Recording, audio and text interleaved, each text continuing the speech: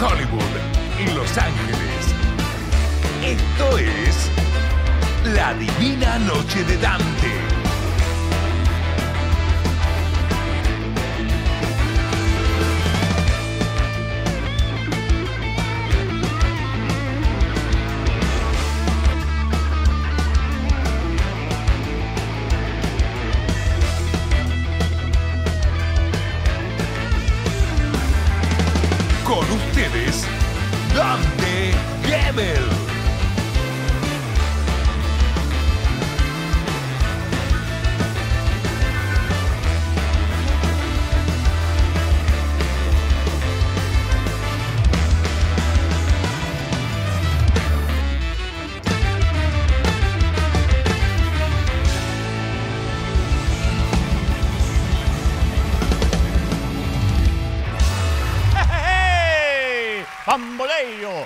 Damas y caballeros, bienvenidos, muy buenas noches. Otro programa más en el aire, sábados 10 de la noche, puntualmente, firme como talón de oso y bien acompañado como siempre. ¿Cómo le va Camilo Quintana? Muy buenas noches, señor Dante Gebel. ¿Cómo le vaya a toda la audiencia? Bien espectacular. Hoy gran invitado, ¿eh? Maravilloso, como siempre. Eh, sin desmerecer al resto, hoy es de esos invitados que siempre quise entrevistar. es de tus favoritos, me parece. No, no es de mi favorito, es mi favorito. Ah, Soy fana número uno.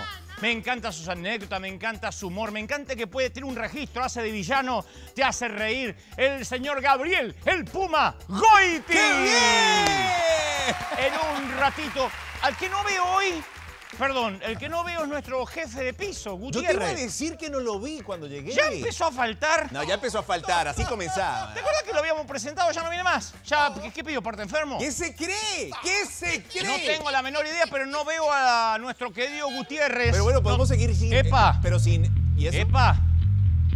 ¿Qué esto es acá? ¿Qué es el Puma? Este debe ser el Puma Goiti que está llegando en este momento a los estudios. Ah, pero... El Puma peló una Ferrari. ¡Eso es una Ferrari amarilla! La famosa Ferrari amarilla, señores. ¿E- ¿Esa es la tuya? Debe ser, debe ser la que dijeron que yo tenía. ¿Pero qué es esto? Pergolini en el DeLorean, ahora Ferrari. Mira el Puma Goiti. Se ve que cobró bien en Disney.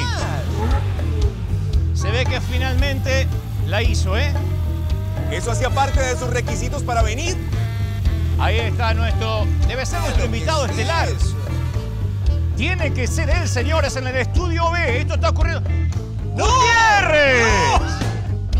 El Sopetti. ¡Eh, eh! ¿Qué hace Gutiérrez en una Ferrari? Hay algo raro ahí, Dante. Hay algo raro ahí.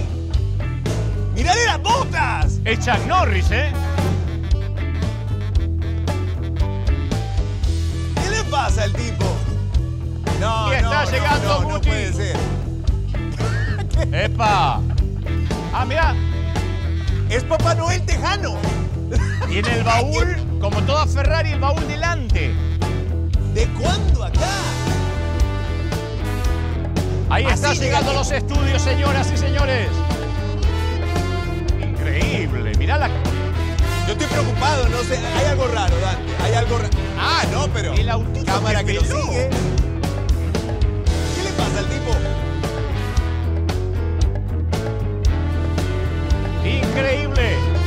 Llegando a nuestros estudios, Gutiérrez. ¿Y por qué los pantalones altos? No le llegan los pantalones al piso.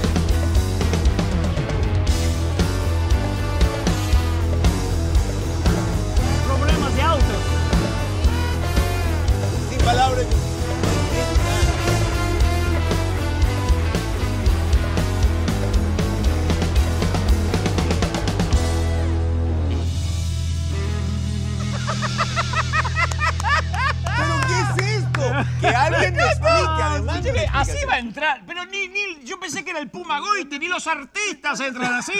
No, no, soy yo, no. Pero, ¿y la Ferrari esa dónde salió? O del, del trabajo.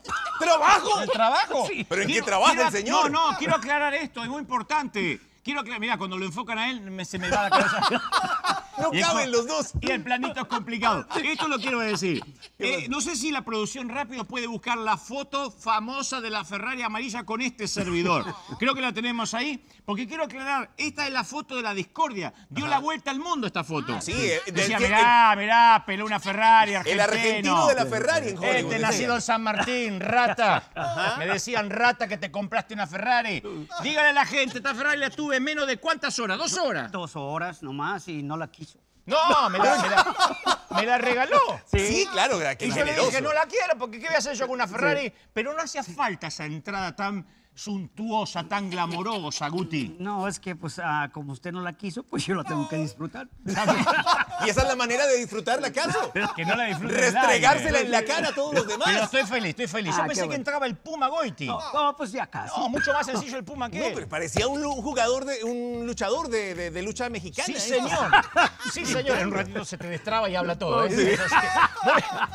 Gracias, Ah, Guti. ¿cómo no? ¿Cómo Gracias, un Vamos a placer. tiempo, pase vamos a pase tiempo, delante sí. de cámara, pase, pase. gracias, no, gracias, usted, gracias. jefe de piso. Siga, Muy bien. De- Estoy choqueado todavía, ¿eh? Este es el nuevo productor ejecutivo. Sí, señor, estoy choqueado. Muy bien, soy de una generación, y esto creo que tiene que ver con nuestro invitado de hoy, Ajá. de lo que desde chicos, para ver un avión, íbamos a Aeroparque o a Ezeiza, los más pudientes, para ver cómo despegaban o aterrizaban un domingo a la tarde. Era un plan de las familias. ¿Por qué digo que tiene que ver con el invitado? Porque nuestro invitado dice que no le gusta viajar, que detesta viajar en avión, en clase turista. Ahora le vamos a preguntar, Es ¿eh? incómodo, Y es estoy de acuerdo incómodo. con él. Yo estoy cansado de escuchar que el avión es el medio de transporte más seguro del mundo. Vamos a razonar juntos, porque la tele no es solo para saber los chismes de la farándula. ¿Qué te importa con quién está de novia la China Suárez? ¿Qué te importa? ¿Y ¿Cambió de novio ya? Eh, no tengo idea. ¿Qué te importa? ¿Qué me importa? ¿Cuántos idiomas saben los hijos de Wanda Nara? ¿Qué nos importa? Maduremos de una buena vez. La tele tiene que servir para educar. Claro. ¿Qué es lo primero que hacía? A ver si se acuerdan el Papa Juan Pablo II cuando bajaba del avión. Besaba la tierra. Besaba el suelo. ¿Alguna vez vio a un papa besar el suelo al bajarse del papa móvil? No. No, eso te da la pauta que si el papa, que según dicen representa a Dios en la tierra, besa el suelo del susto, ¿qué le queda a un simple cura? ¿Me entendés? Ok, por lógica, por El lógica. miedo empieza a pasar cuando pasás por los controles, porque tienen la orden de aliviar los cadáveres. Es así. ¿Cómo Para así? que te mueras liviano, te sacan los perfumes, los aerosoles, las cremas, los zapatos, los cinturones.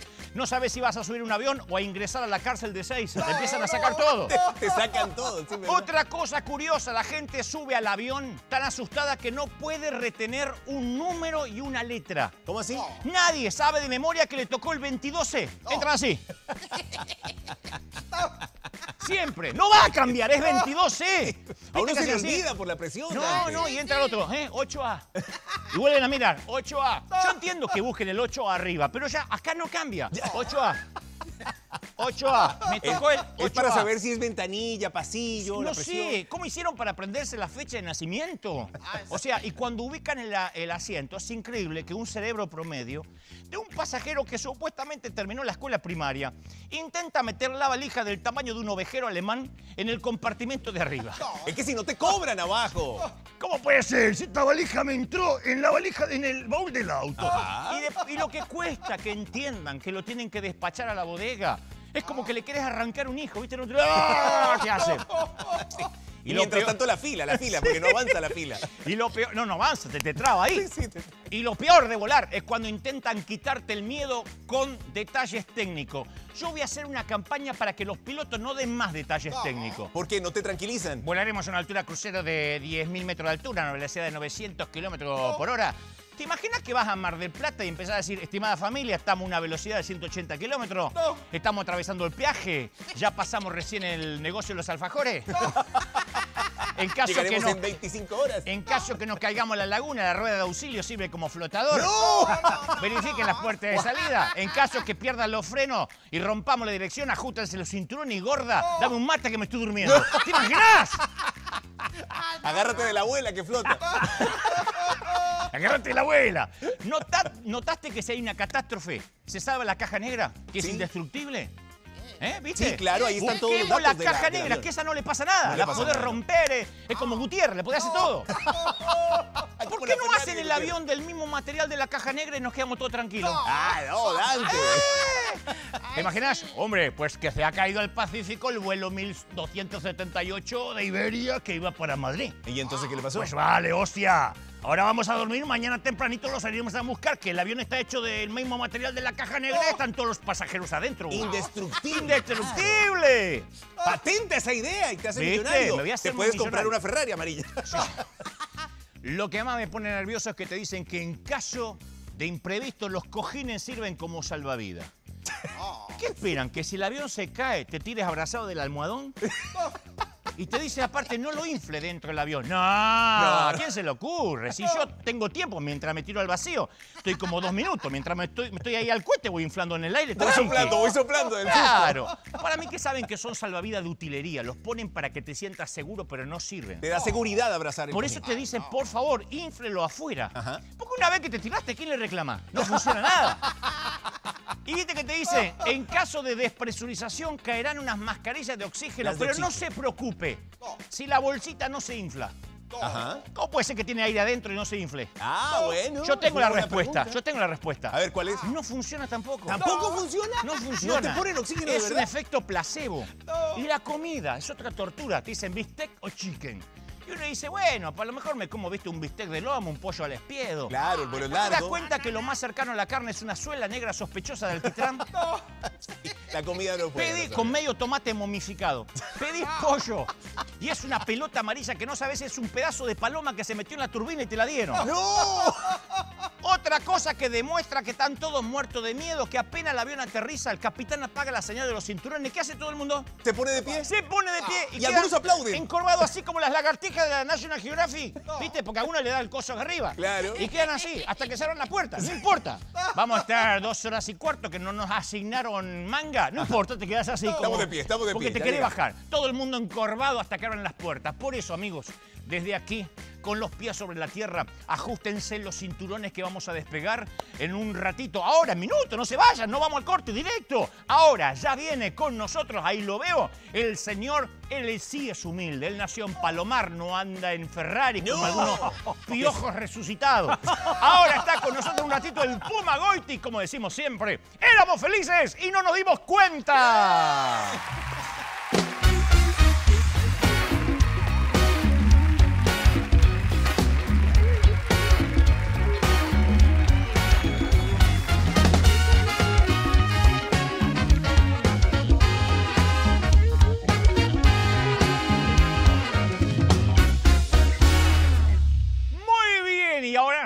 Lo prometido es deuda esta noche con nosotros, reconocido actor del cine 7 Martín Fierro, eh, cine, teatro, televisión. eh, antes de ser actor fue mozo, jugador de rugby, de ahí viene el Puma. Mira vos, ya lo estoy espoleando, aunque la mayoría lo sabe.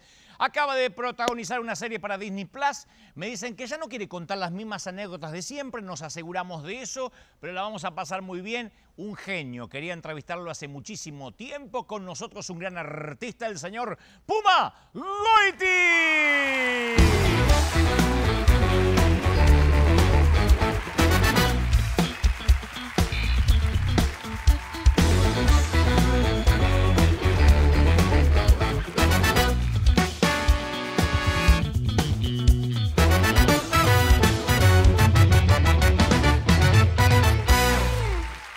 ¡Qué lindo! Excelente. Un placer tenerte, Gabriel, qué lindo. Placer estar acá. No, para mí, no puedo creer que te tenga. No, en serio. De verdad. Porque te lo dije fuera del aire. Yo soy un admirador, no lo digo siempre, ¿eh? Eh, un admirador tuyo de, de- de que te vi la primera vez me fascinó algo que seguramente te lo habrán dicho muchos directores, el, el registro que tenés. Muchas Cuando gracias. sos malo, sos malo, sos odiado. ¿No? En el encargado, por ejemplo, decís qué tipo malo, qué tipo rebuscado, viste que te, este, mira, te mimetizás con, con- con el personaje de Franchella, que necesariamente no es tan bueno, No, para nada. Te para diría nada, que, para nada. Te diría que es peor incluso. es peor, vos decís, mira qué tipo retorcido. Claro, claro, porque como no es simpático es malo. sí. Todo bien, Gabriel, qué lindo. Sí, un placer, gracias. ¿Dónde te encuentras la vida? Bueno, pusieron una foto, inmediatamente mencioné a Guille, te pusieron una foto con Guille. Ay, Dios. Sí. Es, es lindo trabajar con, Oh, con Franchella, es ¿no? un premio. Sí. Trabajar con Guillermo es un premio. Es un premio de verdad. De verdad, aparte es.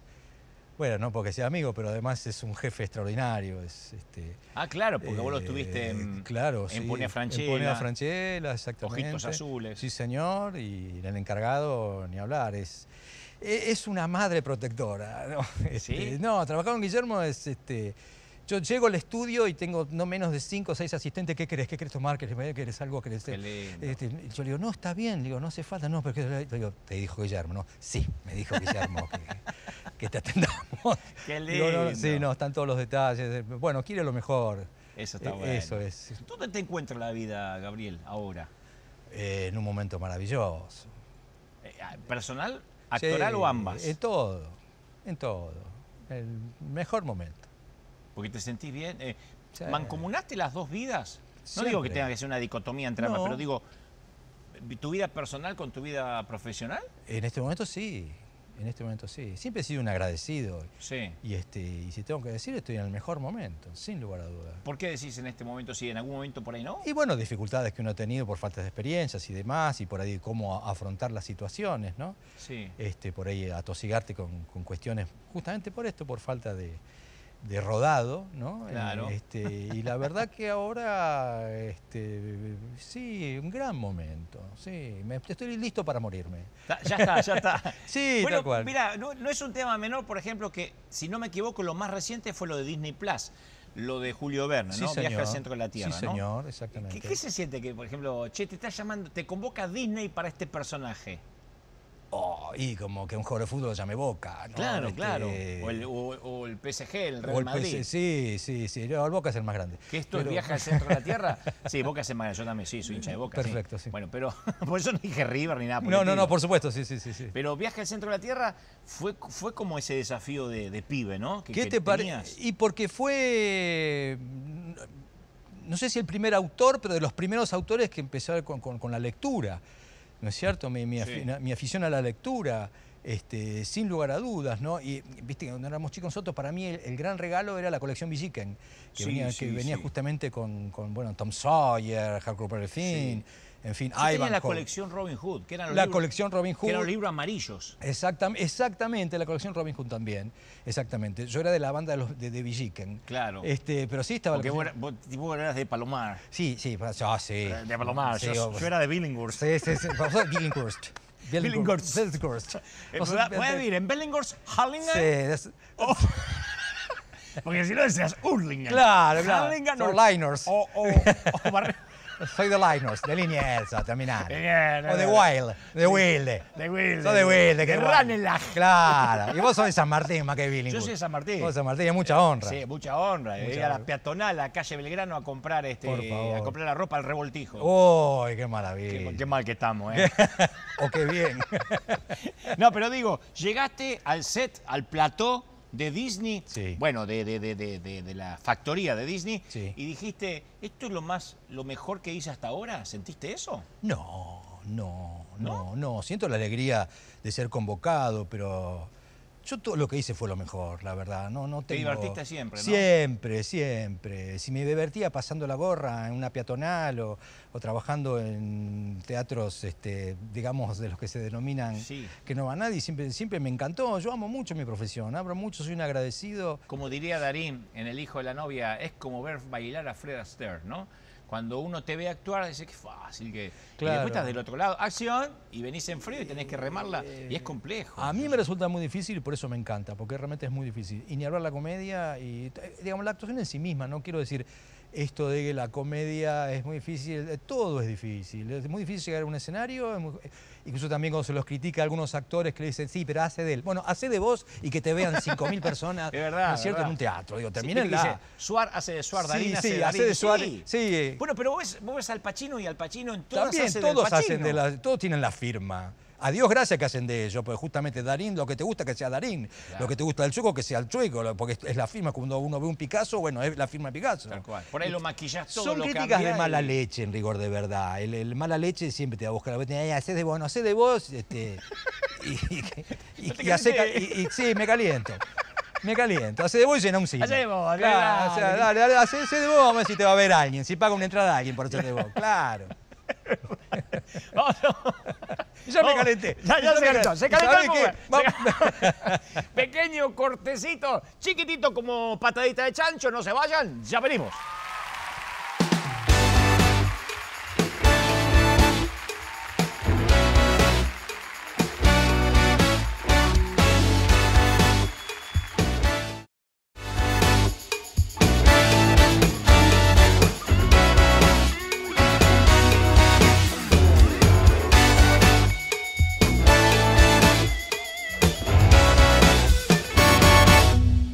Mientras se le bajó en- durante el corte la calentura del Puma Goiti.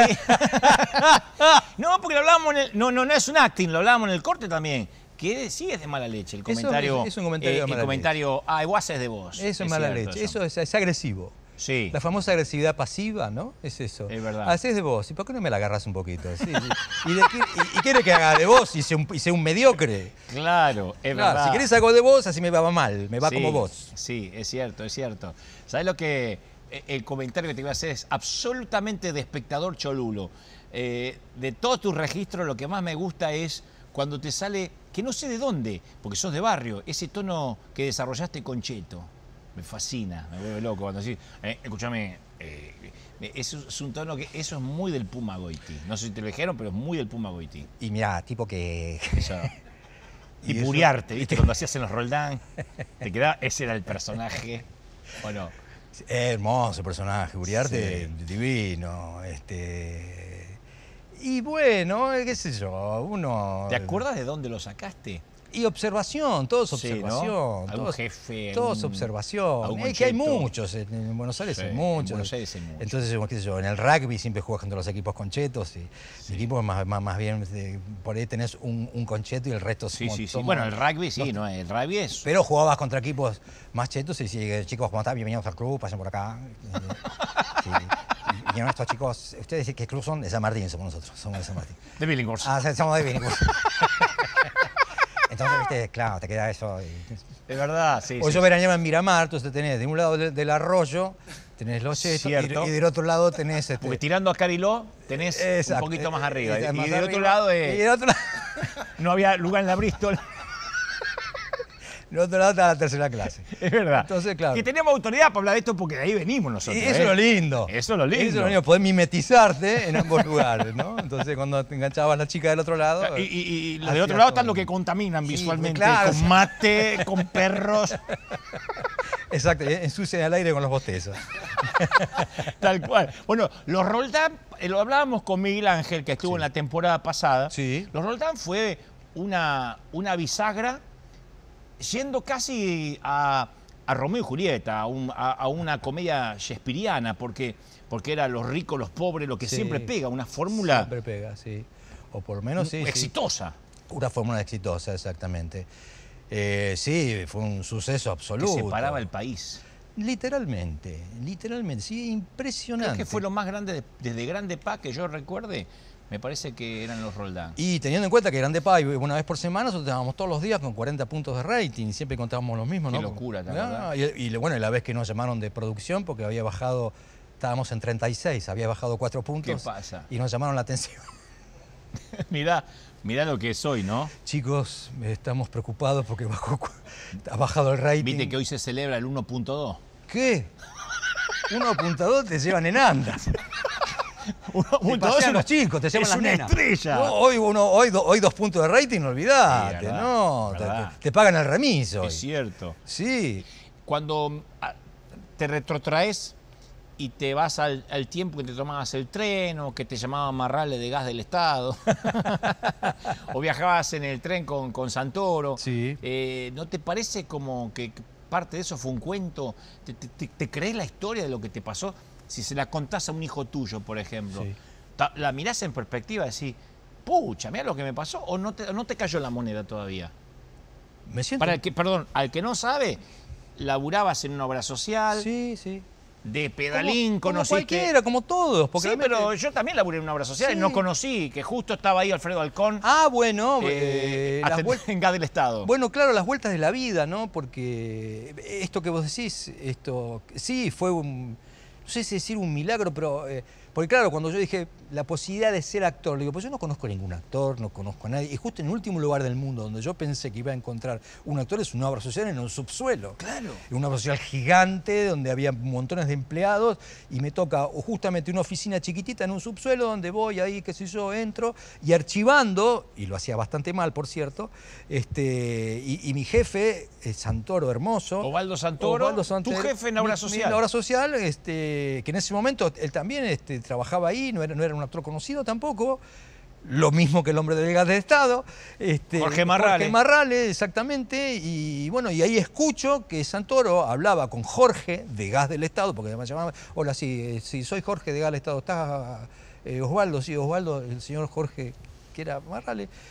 Y ahí escucho que ensayaban ellos y bueno, eh, le pregunté a Santoro si podía yo un ensayo y bueno, fui a ver un ensayo donde Marrale era el director incluso en esa Eso época. me eh, Era el director, a mí también. Y ¿Cómo viste? Eh, Alfredo. Alcón, justo Alfredo Alcón la llamó a, Norma Leandro que pasaba, estaba limpiando la vereda. O sea, no, te- no pasan esas cosas. No, no pasa seguido, la verdad que no. Este, por eso que soy un agradecido, absolutamente. Y ellos son los que me recomiendan estudiar en la Escuela Nacional de Arte Dramático. Y bueno, ahí empezó todo, gracias Es a eso. increíble. Sí, ahí- Yo otro día estaba leyendo, que no sé si viene al caso, pero en la misma línea de pensamiento, que Harrison Ford era el carpintero de George Lucas.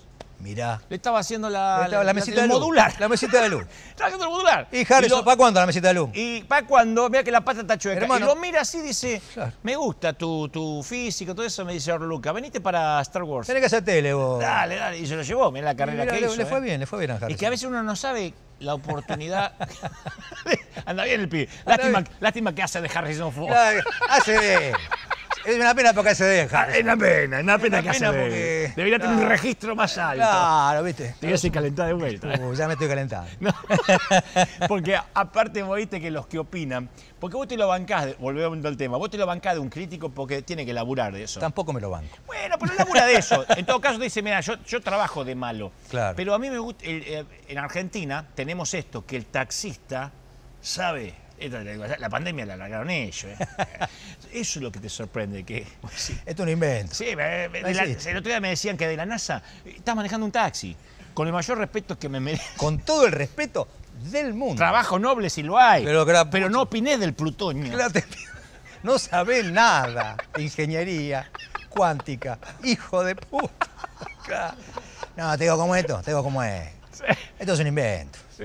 Esto es un invento. La vacuna es un invento. Ojo es agua, ¿eh? te digo Es, yo. es agua.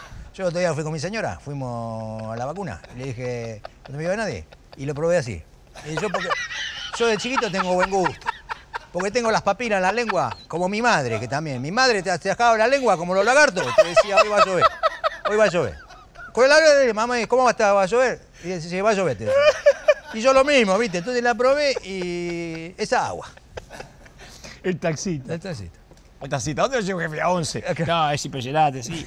Bueno, eso, una vez lo escuché a Moldaski diciendo eso. Es impresionante, dice Moldaski, dice, te, te opinan de la vacuna. te- el- no, la, la, este, es un sistema, ¿viste? Que te hacen del Pentágono, lo inventaron. ¿Cómo le llegó la información a él? ¿Cómo- cómo- Y bueno, eso tenemos argentino. En esa línea de pensamiento que dice, haces de vos, ¿viste, Puma? Claro. Si es que estudiaste. Vos sos bueno, pero siempre es lo mismo, pelado. ¿Y Siempre es lo mismo. Pero te lo dicen a ti, ¿no? Adiós, gracias, hago siempre lo mismo. Adiós, gracias y ojalá siga haciendo Sí, siempre lo mismo. Con todo respeto. O lo que te dicen que faltaría tal cosa. Faltaría tal cosa. Tenías que haber hecho, ¿sabes qué tenía que haber? ¿Sabes qué tenía que hacer vos? Hay una escena, si me permitís, ¿no? Hay una escena que Si me permití. eh, tenías que llorar ahí. Ahí tenía que llorar. Lo digo viste, porque yo, la verdad que, yo, yo, yo, digamos, yo estudié mucho teatro, estudié mucho teatro. Y a mí me decían mis amigos, vos tenés que ser actor. Le dije, nah, ¿para qué? Tenés que ser actor. Es un ambiente difícil. Tenés que ser actor. Tenés que ser actor. Actor. Pero el ambiente, ¿sabes pasa? Yo, yo no transé, te dice. Otro también, los que no, trans- Oh. los que no transaron. Los que no trazaron. Sí, sí, yo también soy actor, pero no transé. No me gusta el catizaban. a mí. Claro, no, no, claro. Yo, viste, no entrego. Sí, claro, está bien, digo. Claro, está bien, te agradezco, sí. Es verdad. No, es, es- eso también. Yo esa- fracasé porque no entregué. Es verdad. Por eso está haciendo lo que hace. ¿no? Claro, claro, claro. Por eso tenés redes sociales. ¿O sí? Tengo Instagram. Ah, Instagram. Bien. ojo, hace Bien. poco, Y, y- y, bueno, y en esa, y, y cómo te llevas con esa interacción? Porque Instagram, como cualquier red social, produce impunidad, inmunidad de quien puede opinar y decir lo que sea. Y la, te la tenés que fumar, ¿eh? No, pero evidentemente. la Instagram es gente más joven. No genero mucho interés yo, porque la verdad que. no recibo nada. Alguna. Gracias, Puma, no pasa de eso. Eh, la pero sos un tipo muy querido. Al principio, por ahí, digamos, este, cuando tuve WhatsApp, hace muy, en la Sí. época de la pandemia, me- mis hijos me sacaron un WhatsApp. Sí. Este, que fue también, me sentí un astronauta de la NASA. Dije, tengo WhatsApp. Y, y, este, y de ahí pasamos al Instagram, que ya digamos, estuve, Sí. estuve cinco días con fobia.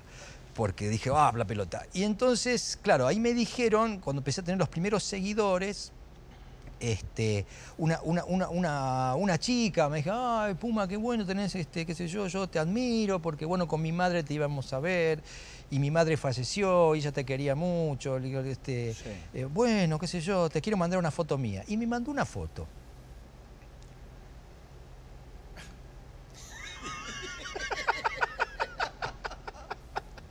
Me mandó una foto de, de sus genitales inferiores. No me diga. Sí, en primerísimo plano, sí. Y dije, mira, ¿qué pasó acá? ¿Qué pasó? Epa, ¿Qué pasó? Y la verdad, Primerísimo plano. primerísimo plano, primerísimo plano, era Opa. como, un- era como un territorio de Marte, una cosa. Es- una zona explotada, ¿no? Si se quiere. Y me impresioné, la verdad que me impresioné. Dije, ¿qué es esto, por Dios? Lo desperté a mis hijos, por Dios, sácame de acá. Sácame. Sacá, ya veía esa foto en todos los canales, digo, no sé, digo, este, Entonces mi hijo me dijo, no, no tenés que seguir a todos los que te siguen, no, qué sé yo, porque yo pensé que yo pensaba que todos los que te seguían tenés que seguir a todos. Sí, y te- Entonces estaba, era el amigo del pueblo. Entonces me dijeron, no, no, no, no, no. Bueno, ahí fui aprendiendo, fui aprendiendo. Entonces, bueno, tengo un Instagram tranquilo, digamos, únicamente Sí. con cuestiones absolutamente este, laborales. y- y Profesionales. na- exacto, nada más. Sí, no, trato de, me, me- gusta la intimidad. ¿Has hecho terapia? ¿Hiciste terapia alguna vez? ¿Haces? No, 40 años de fracasos, ¿sabes cómo te ubica? Te más, ubica. que, más que terapia. Hace una obra que no Nah, vaya a nadie. Eh, Bueno, no- vos que- tuviste una que te- Varias. No, no, pero tuviste una que Y te... también uno hace los Roldán, pero podemos tener programas que son, que, que son un No, sofraca. pero hiciste, hiciste una que promocionabas como la obra con más críticas. Con, con las peores críticas la- del Teatro Nacional. Las peores críticas. Venga a ver la obra con las peores críticas del teatro. Mirá qué manera de capitalizarlo, ¿eh? Nosotros estamos muy orgullosos ahora. Es más, creo que yo la volvería a hacer, porque no la entendieron. No. Sí, tal cual. Sí, tal cual. Pero sos un, un laburante, porque también me consta que cuando estabas haciendo eh, Casados sin Hijos con la Tobal, Sí. eh, te agarraron piedras Ah, sí. y, y- y te llevaron al hospital y estaba Sí. desesperado por hacer la fusión. Es que o sea. teníamos la sala vendida, sold out. Ah, sí, qué problema Yo me, los me- me voy, me voy Bueno, con el eh, cuchillo en la espalda, voy, lo Por hago. eso. No, no me la suspenda. Por eso. No, no, claro. Eso, eso viene del Palomar, ¿eh? Eso viene- eso de vamos a laburar porque yo he visto que han suspendido obras enteras porque anímicamente el actor hoy no tiene un día bueno. Te subo a patadas. Te subo a patadas. Conmigo no. No, siento que Hoy no fluyo. yo hoy no fluyo. Bueno, vas a fluir. Vení que vas a fluir. No, te subo a patadas. Sí, ¿no? Sí, terminala. No, no fluir. Anda a laburar, dale. Bueno, yo te iba a preguntar. No, no, imposible. Si te dedicas a esto es imposible. ¿Verdad? No puede No, estar- sos un impostor. Un artista sale al escenario, terminala. Si no, lo que pasa es que estás un impostor. Se te eh, haya y- muerto y alguien. han criado, eh, se hace, bueno, bueno, se enterrará la mañana y iremos a la noche de la función. ¿Qué? Claro, claro, Digamos, No, no vamos a cambiar nada. Con todo respeto. Sí, no lo va a resucitar. No lo vas a resucitar y, y si es amigo te va a decir anda a la- si es amigo, si es amigo, Sí. te va a decir puma, anda a la función. Es verdad. Nah, terminémosla. ¿Y has hecho funciones así, eh, Y, eh, cuarenta- liquidado anímicamente? Obvio. Yo vivo aniquilado anímicamente. es, es raro que yo te contento un día como hoy. Es raro que te quede- Por eso te cae suspendido siempre. sí, claro, porque a veces vos escuchar las ¿Sos- escuchas. sos muy melancólico? No, no, no, no, no, no. ¿No? No, no, no, no, no, no. Melancólico no, no, no. ¿Cómo? ¿Cómo te definís? No, no, soy un apasionado y me, me gusta que las cosas salgan bien, ese tipo de cuestiones y, y trato de ser agradecido y bueno. Yo me este, identifico mucho en lo que acabas de decir, porque yo también he dado funciones, he salido a dar conferencias, estaba destruido anímicamente, digo, bueno, no sé si el show debe seguir, pero uno lo toma con esa cultura de trabajo que nos daba el viejo, ¿viste? Porque, de ¿sabes qué? trabajar, pa- de no, laburar. es que hay una, una postura estúpida, incluso mucho, no, porque eso le haces al, eh, al productor. ¿Qué productor? Lo hago por mí, no lo hago por el productor. A mí el mejor lugar es estar arriba de un escenario. El mejor lugar que tengo es para estar actuando. ¿Qué por el productor? Lo hago por mí. ¿Qué Sí. productor? Termínenla con esa estupidez, esa, esa crianza, o que el trabajo es malo, o que termina el trabajo es buenísimo. Porque Sí. amo lo que hago y lo hago con pasión y no hay mejor lugar para mí que estar haciendo una función de teatro. Es cierto. No hay, no hay mejor momento para mí que ese. Disculpame, te pido disculpas. No, no lo hago, productor, lo hago por mí, no para quedar bien con el productor. Para quedar bien conmigo, porque Sí, por mí lo hago. Entonces, justamente ese día que tenía esa. Y aparte veníamos, justamente el teatro en Argentina, vos sabés, no es fácil. No es fácil. Como en cualquier parte del mundo, Y digamos, tenían todo vendido. Teníamos todo vendido y bueno, hablé con el médico y le digo, ¿cómo es el tema? Y tenés unas piedritas, me diste, unas piedritas. Aparte, te, te digo, no, no, no vamos a dar nada por sentado. Como diría Mirta, el público se renueva. Las piedras que yo he tenido, las piedras es, es un dolor, de- es contracciones de parto, pero sin lo que tienen las mujeres que tienen un descanso, ¿viste? Que, que van a, que pujan. y- esto es continuo, es continuo. Y cuando pasas por la uretra después, las piedritas las volvés a sentir. Sí, exacto, es un dolor feo. Espantoso. Es feo, pero más duele suspender una función vendida. ¿Y con- ¿Hiciste con piedras o no? ¿Te las sacaron? Eh, no, lo que pasa que, bueno, tuve que internarme, entonces el médico me dijo, mirá, eh, me explicó más o menos lo que me dijo, mirá, si la saco de una, es ambulatorio. Ambulatorio quiere decir que no me quedo internar, no, pero tenés que ir a tu casa a descansar, me dice. Ahora, si la saco, si se me demora un poquitito, tenés que quedarte un día internado. Y yo le dije, la vas a sacar de una, ¿no? La vas a sacar de una. Le digo, pues yo tengo función a la noche. Le digo, no, no, me dice, no, no. No, si va la- a tu casa. Vos vas a tu casa, este, qué sé yo, bueno, bueno, quédate tranquila. Así que bueno, me durmieron, ni bien abrí los ojos, le digo al médico, ¿la sacaste de una? Sí. Y me dice, sí, sí, la sacame de La una. segunda pregunta, ¿qué hora es? ¿Qué, Ah, te conozco. ¿Qué hora es? qué hora es? Las 5, viene a las 9. Digo, sí, tal cual. Me dice, no, pero te vas, al, te vas al- a, tu casa a descansar. Sí, sí, quédate tranquilo. Me fui al teatro. Increíble. Me fui al teatro. Es más, me olvidé de sacarme lo del quirófano, ¿viste? Que te Sí, ponen sí, el quirófano. sí. Hice la función con la, la cintita del quirófano. Estaba un poco mareadito, ¿no? Todavía ser un canchero. Sí, sí, Pero hicimos una función hermosa. Sí, sí. Bueno, porque esa adrenalina, aparte esa adrenalina es como que te va sanando, te Pero va... por favor. Es, es una terapia maravillosa. Pero no iba a perder esa. Sí, yo A la he vivido, es una terapia maravillosa, Por una de- energía. He hecho funciones para tres personas y la he hecho feliz, que no voy a hacer una función para eh, 500 personas en una sala hermosa con, un- una, con Eugenia, por Dios, Eugenia Tebar, que es una actriz divina, Sí, con, sí. con- con todo el, el elenco hermoso. Y dije, bueno, eh, veremos, tengo lunes para descansar. Sí. Estoy Pero yo hablé con mucha gente, dice que sos muy laburador, muy cumplidor, eh, un soldadito que te venís con la letra siempre aprendida. No, fundamental, sí, pero eso es lo, lo lógico. No, no, ¿cuántos actores dan? eh, ¿Cuántos sabemos que te ponían el papelito acá adelante porque no habían estudiado? No conmigo, amigo. Bueno, pero... Y a mí mírame a los ojos cuando estudiaste, ¿cómo no vas a ver la letra? E incluso creo que me parece a mí. consejo- Esto te lo, como tallita te lo voy a decir. Sí, decime. No, Decime, me parece a mí que para improvisar como improvisabas, para tener salirte del riel, era porque te sabías la letra. ¿Quién te dijo que improvisaba? A mí me parecía. Parece improvisado. Bueno, Iván, no, no improvisamos No, a nada. mí me parece Eso que- es mentira, nada improvisa. A mí me parecía que, que cuando estabas con Franchella se dejaban llevar. No, En cierto. poco y nada. ¿De verdad? Sí, de verdad. Me encanta que parezca improvisado y parece que hacemos nosotros. Pero no, no, no, improvisado no hay nada. ¿No? No. Alguna, no. alguna pequeña cosa. Una licencia. Una ¿no? licencia, pero no. Una no. tentada. Improvisar es muy difícil y, y no, para nada. Y no, no, poco improvisado. Improvisado alguna cuestión dentro de una escena, por ahí algo que uno agrega, pero, eh, pero no, no, no, no, no. ¿Y qué te calienta mucho así? Que todavía decís esto me. Recién te saltó la térmica cuando decías esto, estos críticos de cabotaje. ¿Qué, qué te salta todavía la térmica que decís, "Eso no, me, saca, me saca, me saca? Y bueno, trato de, la falta de profesionalismo, la falta del el, el- el tema del, del horario, por ejemplo. ¿Sí, no? Yo llego horario por el otro, no por mí, ¿no? Entonces, viste que siempre es como, Sí. uy, disculpa, lo que pasa es que este, no sabes, este, justo el No auto... sabe que Paz. No, no sabes lo que fue, no sabe el tráfico. Le digo, mirá, yo vivo 70 kilómetros de Buenos Aires y llegué a horario. Entonces, vos que vivís a 6 cuadras, a 6, ¿por qué llegas tarde? No, ese tipo de cuestiones sí me calientan, pero he mejorado mucho. ¿Sí? He mejorado mucho, sí. Desayuno con Buda a la mañana. Pero, por ejemplo, sí, no me gusta. La falta de horario es una, es una falta de respeto al otro. Al otro. O la falta de profesionalismo a partir de no, los que se jactan de no saber la letra, por ejemplo. Bueno, andá y estudiala. Porque aparte yo trabajo con vos, yo trabajo mirándote a los ojos. Si vos estás Claro. mirando la letra acá, no me estás mirando a mí. O sea, que me Sí. Me estás omitiendo, no me tenés en cuenta. Entonces creo que son cosas que a cualquiera que tenga sangre en las venas no le gusta. No, no. Un tipo que.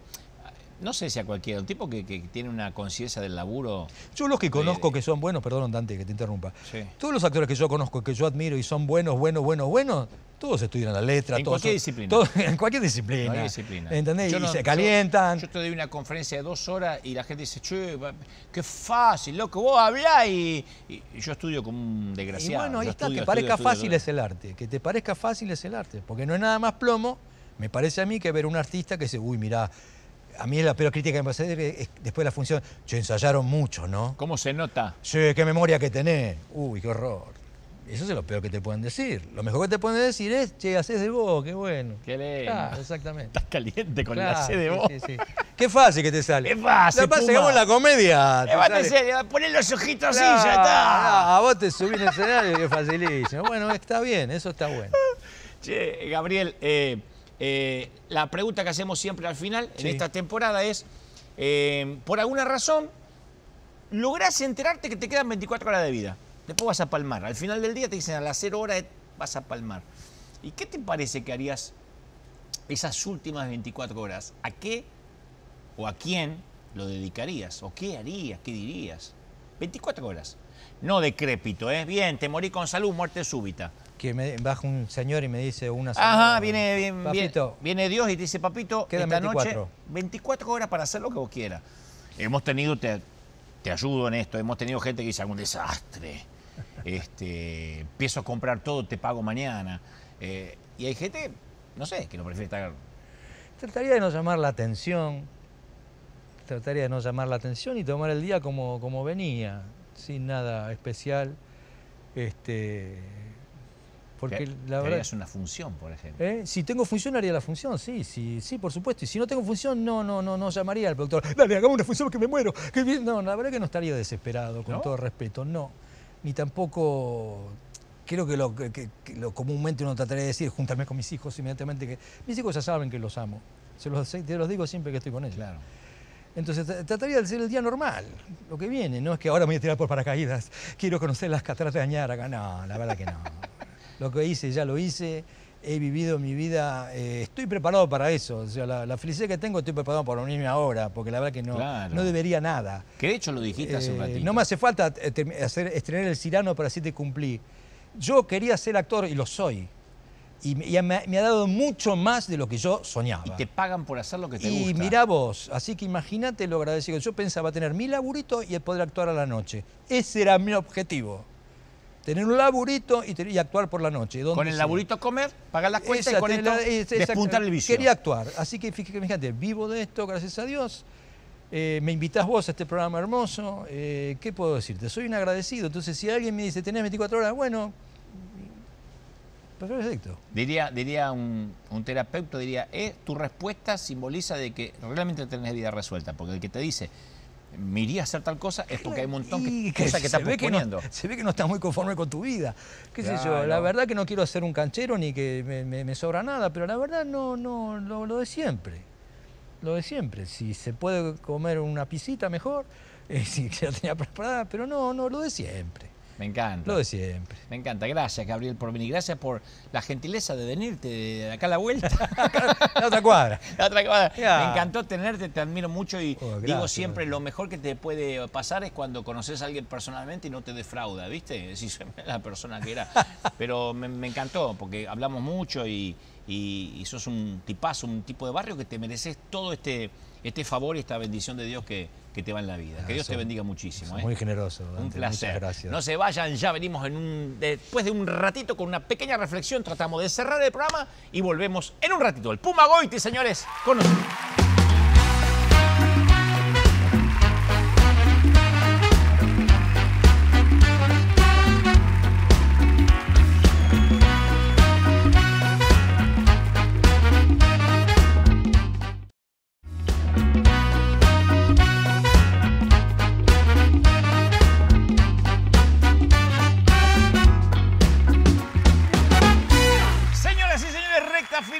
Gracias por habernos acompañado hasta este momento.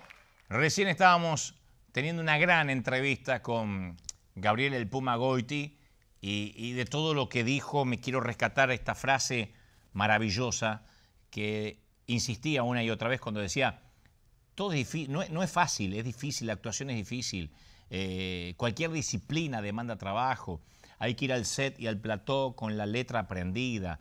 Yo aprendo mucho de- de invitados así, porque me parece que a veces uno mira de lejos, le parece que el césped del vecino es más verde y dice, claro, es fácil, para eso es fácil, mira cómo, mira cómo se gana la vida este haciendo reír. Y no, todo demanda una disciplina, siempre hay un montón de gente trabajando detrás, mucho esfuerzo y uno ve el modelo terminado, ¿no? Porque a muchos de nosotros nos gustaría que la vida fuese fácil, sin tantas complicaciones, con mucha risa, sin lágrimas. ¿eh? Pero ya- como verán, a juzgar por lo que decía Goiti, ni siquiera en la actuación, eh, en ningún género, en ninguna disciplina la vida es fácil. Porque existen las piedras, los obstáculos, las, las crisis, los duelos, los problemas.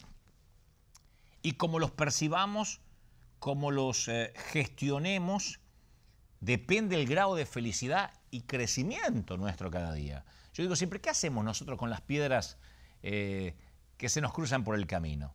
Yo leía una suerte de metáfora por ahí, que con una piedra el distraído tropezó, el violento la usó como proyectil, el emprendedor construyó, el caminante cansado la usó como asiento, para los niños fue un juguete, ¿no?